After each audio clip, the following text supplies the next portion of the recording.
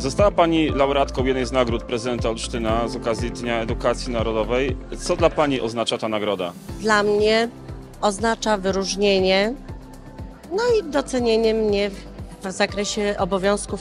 Nagroda prezydenta miasta Olsztyna zawsze jest radością, motywacją na pewno do pracy, ale to, że ktoś mnie gdzieś e, dostrzegł, mogę właśnie tu spotkać się z innymi nauczycielami e, i uczcić ten dzień, e, bo on jest zawsze związany ze świętem e, edukacji narodowej. Myślę, że wszystkie nagrody są cudowne, a te e, szczególnie.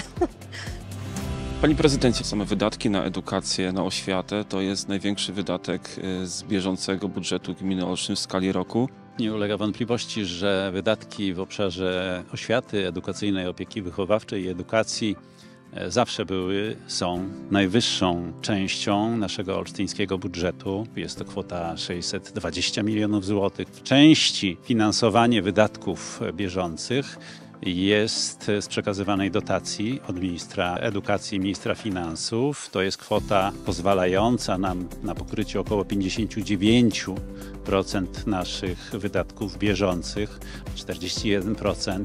To są ogromne kwoty, przeszło 200 milionów złotych.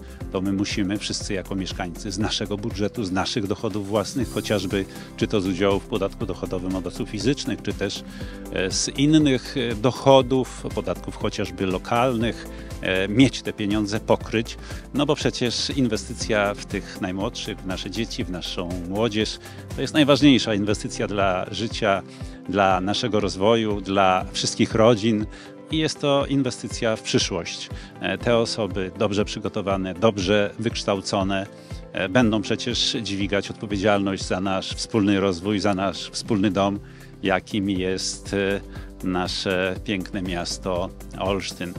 Świat się zmienia i nauczyciel zawsze powinien podążać w kierunku dziecka, zmieniającej się rzeczywistości, więc myślę, że chodzi przede wszystkim o to, żeby ten zawód łączyć z pasją, żeby teorię pięknie przedstawić w praktyce, żeby po prostu e, lubić to, co się robi. Myślę, że innowacyjność, kreatywność, e, dużo empatii, empatia to jest podstawa do tego, e, co powinien nauczyciel w sobie rozwijać, żeby być zadowolonym ze swojej, e, swojego zawodu.